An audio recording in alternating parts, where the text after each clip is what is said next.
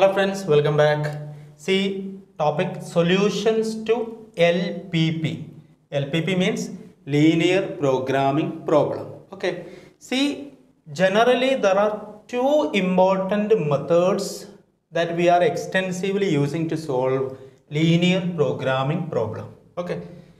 Previous വീഡിയോയിൽ linear programming എന്താണെന്ന് പറഞ്ഞു മീനിങ് പറഞ്ഞു കമ്പണൻസ് പറഞ്ഞു എല്ലാ കാര്യങ്ങളും നമ്മൾ ഡിസ്കസ് ചെയ്തു right see here two methods or two solutions to linear programming problem first one you know graphic method അതാണ് നമ്മുടെ syllabus how can we solve linear programming problem by using graphic method in this video we are going to discuss what are the important steps that we are using to solve linear programming problem by using graphic method okay then second method is that you know simplex method it is not in our syllabus നമ്മുടെ degree സിലബസിൽ simplex method ഇല്ല. M A എക്കണോമിക്സിന് നിങ്ങൾക്ക് വളരെ detail ആയിട്ട് പഠിക്കാം.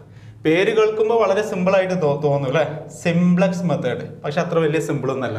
അത്യാവശ്യം കാര്യങ്ങൾ പഠിക്കാനുണ്ട് മനസ്സിലാക്കാനുണ്ട്. It is a technique in which we are solving linear programming problem and attain optimal position okay ഇതൊരു ടേബുലാർ ഫോമിലാക്കി സ്റ്റെപ്പ് ബൈ സ്റ്റെപ്പ് സോൾവ് ചെയ്യുന്ന രീതിയാണ്.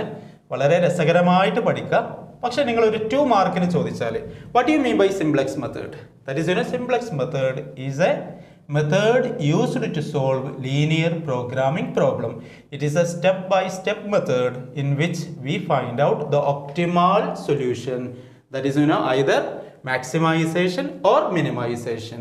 And it is a part and parcel of linear programming problem and its solution. Another method for solving linear programming problem is graphic method. ഇങ്ങനെ അങ്ങോട്ട് കൊടുക്കുമ്പോൾ നിങ്ങൾക്ക് ആ two mark കിട്ടും. Okay now we are going to discuss you know what are the important steps ആറ് പ്രധാനപ്പെട്ട steps list ചെയ്യാൻ പോവുകയാണ്. ആ സ്റ്റെപ്സിനെ ബേസ് ചെയ്തിട്ടാണ് നമ്മൾ എന്ത് ചെയ്യുക? ലീനിയർ പ്രോഗ്രാമിംഗ് പ്രോബ്ലം സോൾവ് ചെയ്യുക. Okay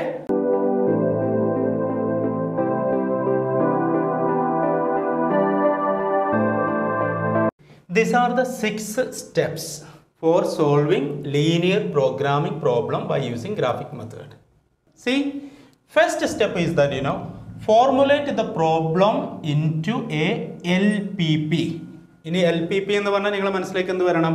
linear programming problem okay ചില ക്വസ്റ്റ്യൻ പേപ്പറിൽ നമുക്ക് കാണാം. ലീനിയർ പ്രോഗ്രാമിംഗ് പ്രോബ്ലം ഡയറക്റ്റ് തരും. Okay objective function constraint non negativity constraints or conditions അത് നമ്മൾ ഗ്രാഫ് ചെയ്ത് സോൾവ് ചെയ്താൽ മതി. ചില ക്വസ്റ്റ്യൻ പേപ്പറിൽ ഫൈവ് മാർക്കായിട്ടും എസ് എയിലൊക്കെ വരാറുണ്ട്. എന്താണ്? സ്റ്റേറ്റ്മെന്റ് ആയിരിക്കും.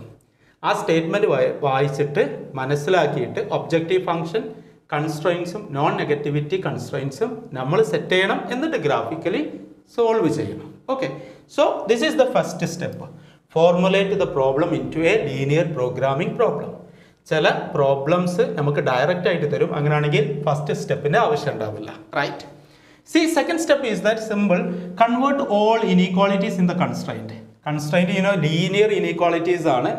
As equalities and find out values വേരിയബിൾസിന്റെ കൺസ്ട്രൈൻസിന്റെ വേരിയബിൾസിന്റെ value കാണുക ഞാൻ വരുന്ന വീഡിയോയിൽ ഗ്രാഫിക് മെത്തേഡ് ഉപയോഗിച്ചിട്ട് ലീനിയർ പ്രോഗ്രാമിംഗ് പ്രോബ്ലം സോൾവ് ചെയ്യുമ്പോൾ ഈ സ്റ്റെപ്സ് നിങ്ങൾക്ക് തറോ ആകും. വളരെ ഈസി ആയിട്ട് നമുക്ക് ചെയ്യാൻ പറ്റും. ഓക്കെ അപ്പോൾ രണ്ടാമത്തെ സ്റ്റെപ്പ് ഓർത്ത് വെക്കുക. ലീനിയർ ഇനീക്വാളിറ്റീസിലുള്ള കൺസ്ട്രെയിൻസിൽ എന്ത് ചെയ്യും? നമ്മൾ ഈക്വാളിറ്റീസ് ആക്കും അതിന്റെ വാല്യൂസ് കാണും. Right then you know set a graph ആ വാല്യൂസിനെ ബേസ് ചെയ്തിട്ട് നമ്മൾ എന്ത് ചെയ്യും? ഗ്രാഫ് ഉപയോഗിക്കും. ഞാൻ ഓൾറെഡി പറഞ്ഞിട്ടുണ്ട് ലീനിയർ പ്രോഗ്രാമിങ്ങിൽ ഗ്രാഫിക് മെത്തേഡ് ഉപയോഗിക്കുന്നതിന് പരിമിതികളുണ്ട്. കാരണം രണ്ട് വേരിയബിൾസ് ഉണ്ടെങ്കിലേ ഗ്രാഫിക് മെത്തേഡ് ഉപയോഗിക്കാൻ പറ്റുള്ളൂ. കാരണം എന്താ? നമുക്കറിയാം vertical axis and horizontal axis രണ്ട് വേരിയബിൾസ് പ്ലോട്ട് ചെയ്യാൻ കഴിയുള്ളൂ. Three four or five variables വരികയാണെങ്കിൽ നമ്മൾ ഉപയോഗിക്കുന്ന ഏത് മെത്തേഡാണ് സിംപ്ലക്സ് മെത്തേഡാണ് ഉപയോഗിക്കുക. ആ കാര്യം ഓർത്തിരിക്കുക. So first one you know formulation of L P P second one you know convert all inequalities into equalities third one know set a graph. Then fourth one you know corner points. Locate corner points and feasible region. Corner point method ഉപയോഗിച്ചിട്ടാണ് നമ്മൾ solve ചെയ്യുക. വളരെ സിമ്പിളാണ് നമ്മൾ ആ problem solve ചെയ്യുമ്പോൾ നിങ്ങൾക്ക് പെട്ടെന്ന് മനസ്സിലാവും. അപ്പോൾ കോർണർ പോയിന്റ്സ് കാണാം.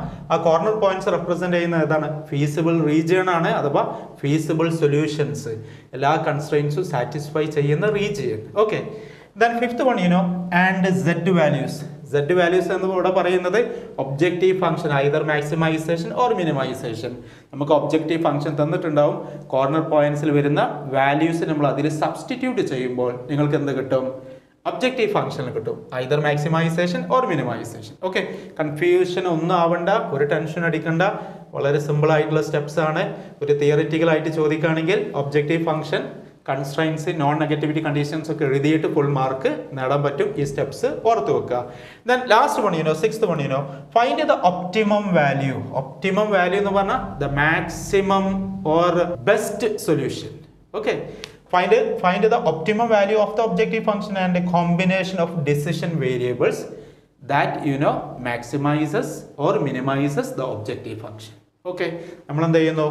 ഏറ്റവും ആ സെഡ് വാല്യൂസിലൊക്കെ അപ്ലൈ ചെയ്തിട്ട് മാക്സിമൈസേഷൻ ആണെങ്കിൽ ഏറ്റവും ഉയർന്ന പോയിന്റ് എവിടെയാണ് കിട്ടുന്നത്? വാല്യൂസ് കിട്ടുന്നത് ഓപ്റ്റ് ചെയ്യും. മിനിമൈസേഷൻ ആണെങ്കിൽ ഏറ്റവും മിനിമം ഉള്ള പോയിന്റ് ഓപ്റ്റ് ചെയ്യും. Okay see this are the six steps associated with the solution to linear programming problem by using graphic method okay ഇത്രയും കാര്യങ്ങൾ വളരെ നല്ല രീതിയിൽ മനസ്സിലാക്കുക. ഈ ആറ് സ്റ്റെപ്സും എ ടു സെഡ് മനസ്സിലാക്കുക. ഈ സ്റ്റെപ്സ് വെച്ചിട്ടാണ് നമ്മൾ പ്രോബ്ലം സോൾവ് ചെയ്യുക. Okay in the coming video we will solve linear programming problem by using graphic method മാക്സിമൈസേഷന് problem ചെയ്യും മിനിമൈസേഷന് പ്രോബ്ലം ചെയ്യും. അതുപോലെ തന്നെ ഒരു ലീനിയർ പ്രോഗ്രാമിംഗ് പ്രോബ്ലം എങ്ങനെയാണ് ക്രിയേറ്റ് ചെയ്യുക ഫോർമുലേറ്റ് ചെയ്യുക? ഒരു പ്രോബ്ലം അത് വായിച്ച് മനസ്സിലാക്കിയിട്ട് എങ്ങനെയാണ് ലീനിയർ പ്രോഗ്രാമിംഗ് പ്രോബ്ലം ചെയ്യുക എന്നുള്ളതും നമ്മൾ പ്രാക്ടീസ് ചെയ്യും. Okay have a nice day thank so much